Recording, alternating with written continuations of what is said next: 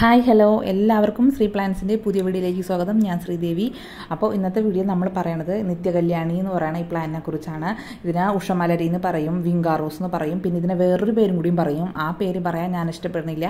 കാരണം ഇത്ര ഭംഗിക്ക് പൂക്കൾ തരുന്ന അതായത് ഇത്ര വെറൈറ്റി കളറുകളുള്ള ഈ ചെടി ആരാണാവോ ആ പേരിട്ടതല്ലേ? അപ്പോൾ ആ പേര് പറയാൻ ഞാൻ ഇഷ്ടപ്പെടുന്നില്ല കേട്ടോ. അപ്പോൾ നമുക്ക് ഈ പ്ലാന്റിനെ കുറിച്ച് അറിയാം. അപ്പോൾ ഈ പ്ലാന്റ് കിട്ടുമ്പോൾ പിന്നെ അതിന് ശേഷം ചെറിയൊരു പോട്ടിലാണ് നമുക്ക് നഴ്സറിയിൽ നിന്നൊക്കെ വാങ്ങിക്കാൻ കിട്ടുക. അതിന് ശേഷം ഞാൻ പോട്ട് ചെയ്ത പോട്ടി മിക്സ് അതിന്റെ കെയർ അതിനെക്കുറിച്ചാണ് ഇന്നത്തെ വീഡിയോയിൽ പറയണത്. അപ്പോൾ അതിക്ക് മുമ്പ് എനിക്കൊരു കാര്യം പറയാനുള്ളത്. ഞാനൊരു സെയിൽ വീഡിയോ ചെയ്തിരുന്നു. അപ്പോൾ അതിൽ ചെയ്ത എല്ലാ പ്ലാന്റും എന്റെ കയ്യിൽ നിന്ന് സെയിലായി പോയി. അപ്പോൾ വീണ്ടും വീണ്ടും ഓരോരുത്തർ എന്റെ കയ്യിൽ നിന്ന് എന്റെ അടുത്ത് മെസ്സേജ് അയക്കുന്നുണ്ട് പ്ലാൻ ഉണ്ടോ എന്ന് ചോദിച്ച്. അപ്പം ഞാൻ അടുത്തൊരു സെയിൽ വീഡിയോയുമായി എന്തായാലും വരുന്നുണ്ട്. പിന്നെ ഞാൻ ഈ സെയിൽ വീഡിയോയ്ക്ക് ഇടുന്ന പ്ലാന്റൊക്കെ ഞാൻ തന്നെ പ്രൊപ്പഗേറ്റ് ചെയ്ത് എന്റെ കയ്യിലുള്ള പ്ലാന്റ് ഞാൻ തന്നെ പ്രൊപ്പഗേറ്റ് ചെയ്ത് റൂട്ടഡ് ആകുമ്പോഴാണ് ഞാൻ നിങ്ങൾക്ക് സെയിൽ വീഡിയോ ചെയ്തത് കേട്ടോ അപ്പോൾ വീണ്ടും ഞാനിങ്ങനെ പ്രൊപ്പഗേറ്റ് ചെയ്യാൻ വെച്ചിട്ടുണ്ട്. പിന്നെ കുറേ എണ്ണം റൂട്ടഡ് ആയിട്ടുണ്ട്. അപ്പോൾ അതെല്ലാനും കൂടിയും കൂട്ടി ഒരു സെയിൽ വീഡിയോ എന്തായാലും ചെയ്യൂട്ടോ അപ്പോൾ നമുക്ക് വീഡിയോയിലേക്ക് പോകാം. അപ്പോൾ ഈ പ്ലാനിനെ കുറിച്ച് പറയുകയാണെങ്കിൽ ഇത് നമ്മുടെ നാട്ടിൻപുറത്ത് കാണുന്ന ഒരു നിത്യകല്യാണി ഉണ്ടല്ലേ നമ്മളുടെ നാടനുണ്ട് അതുപോലെ തന്നെ ഹൈബ്രിഡ് ഉണ്ട്.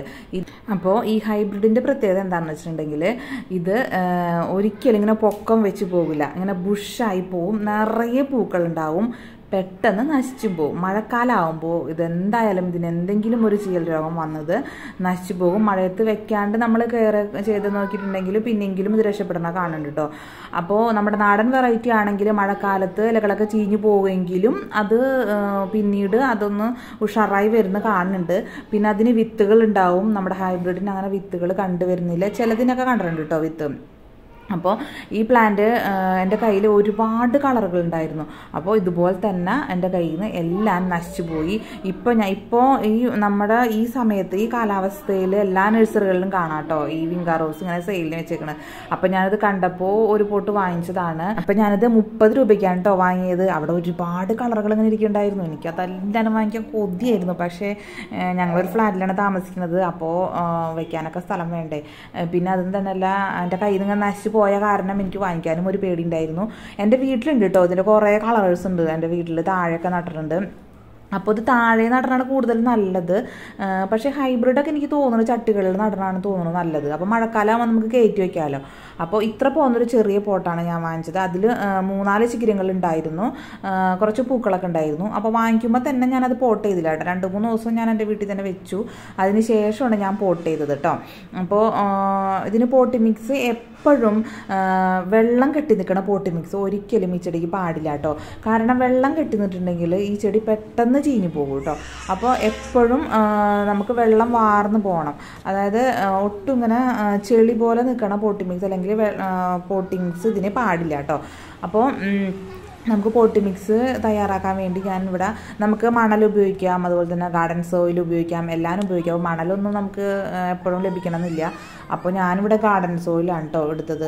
അപ്പോൾ ഇത് എപ്പോഴും വലിയൊരു ചട്ടിയിൽ നടണം. കാരണം ഇത് വലിയതാവണ ചെടിയാണല്ലേ ഒരുപാട് ബുഷ് ആവണ ചെടിയാണ്. പിന്നെ പെട്ടെന്നായിരിക്കും ഇതിന്റെ വളർച്ച. കണ്ടോ? ഫെബ്രുവരി പതിനേഴാം തീയതി ഞാനിത് പോട്ട് ചെയ്യണം കേട്ടോ അതിക്ക് മുമ്പാണ് എനിക്ക് കിട്ടിയത്. അപ്പോൾ ഇത് പെട്ടെന്ന് ബുഷാവും അത് പെട്ടെന്ന് വളരും വലുതാവും. അപ്പോൾ നമ്മൾ എപ്പോഴും വലിയ ചട്ടി സെലക്ട് ചെയ്യുക കേട്ടോ.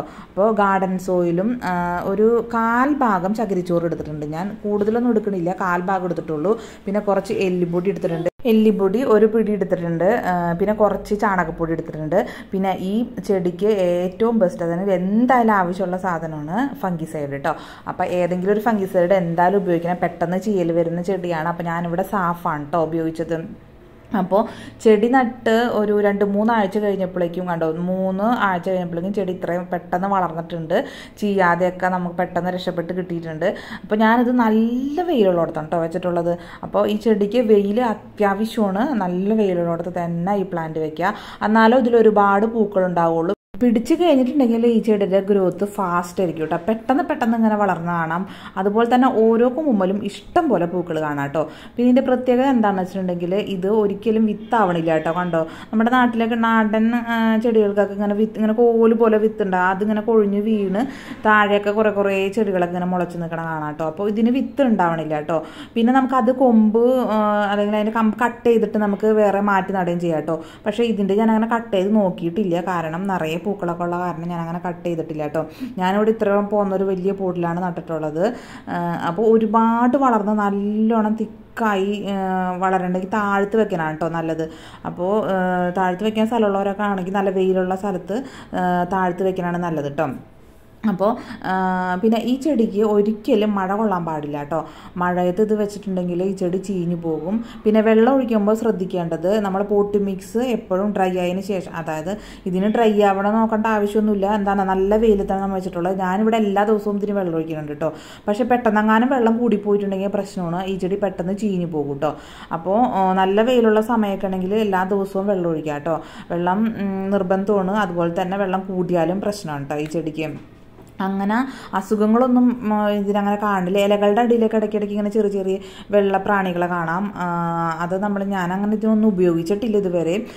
അതിങ്ങനെ കൈകൊണ്ട് ഇങ്ങനെ തുടച്ച് കളയാറാണ് പതിവ്. പിന്നെ ഫെർട്ടിലൈസർ ആയിട്ടും ഇതിന് പ്രത്യേകിച്ച് ഒരു ഫെർട്ടിലൈസറിന്റെ ആവശ്യമില്ല കേട്ടോ. എല്ലാം തന്നെ ഇതിന് ഇഷ്ടം പോലെ പൂ നമുക്ക് തന്നോളൂ. നല്ല വെയിലത്ത് വെച്ചാൽ മതി. പക്ഷെ ഞാനിവിടെ ഇടയ്ക്ക് മറ്റുള്ള ചെടികൾക്കൊക്കെ ചാണകപ്പൊടി ഇടുമ്പോൾ ഇതിനും കുറച്ച് ചാണകപ്പൊടി ഇട്ട് കൊടുക്കാറുണ്ട് കേട്ടോ. ഇത് നട്ടപ്പോൾ ചാണകപ്പൊടിയും എല്ലുപൊടിയും കൂടി മിക്സ് ചെയ്ത് പിന്നെ ഞാൻ ഒരു തവണയും കൂടി ചാണകപ്പൊടിയും ഇട്ട് കൊടുത്തിട്ടുണ്ട്. വേറെ ഒരു ഫെർട്ടിലൈസറും ഇതിന് ആവശ്യമില്ല കേട്ടോ. നല്ല വെയിലത്ത് വെച്ചിട്ടുണ്ടെങ്കിൽ ഇഷ്ടം പോലെ പൂക്കൾ ഉണ്ടായിക്കോളും. അപ്പോൾ ചെടികളെയും പൂക്കളെയും ഇഷ്ടപ്പെടുന്നവരുടെ വീട്ടിൽ ഇതിന്റെ ഈ പ്ലാന്റ് എന്തായാലും ഉണ്ടായിരിക്കും. ഇതിന്റെ ഒരു മോഡലെങ്കിലും ഉണ്ടാവാൻ ചാൻസ് ഉണ്ട്. അപ്പോൾ അത്രയ്ക്ക് നിറച്ച് പൂക്കൾ തരുന്ന ഒരു ചെടിയാണ്. അപ്പോൾ എല്ലാവരും ഒരു ചെടി വാങ്ങിച്ച് വെച്ച് നോക്കൂ കേട്ടോ ഇന്നും നമുക്ക് നിറച്ച് പൂക്കൾ തരുമ്പോൾ ഒരു സന്തോഷമല്ലേ? അപ്പോൾ അത് ചീഞ്ഞു പോകാണ്ടിരിക്കാൻ മഴക്കാലത്ത് ആ ചീയണ കമ്പുകളൊക്കെ ഒന്ന് കട്ട് ചെയ്ത് നിർത്തിയിട്ടുണ്ടെങ്കിൽ പിന്നെയും ഇത് രക്ഷപ്പെടുന്നു തോന്നുന്നു കേട്ടോ പിന്നെ ഫംഗിസൈഡ് എന്തായാലും നിർബന്ധമായിട്ടും ഉപയോഗിച്ചോളൂ കേട്ടോ അപ്പോൾ ഇത്രയേ ഉള്ളൂ നമ്മുടെ വീഡിയോ. വീഡിയോ ഇഷ്ടമായാൽ എല്ലാവരും ലൈക്ക് ചെയ്യണം കേട്ടോ അപ്പോൾ എന്തെങ്കിലും അഭിപ്രായം ഉണ്ടെങ്കിൽ കമന്റ് ചെയ്യണം. മറ്റൊരു ഗാർഡനിങ് വീഡിയോ നമുക്ക് വീണ്ടും കാണാം. താങ്ക്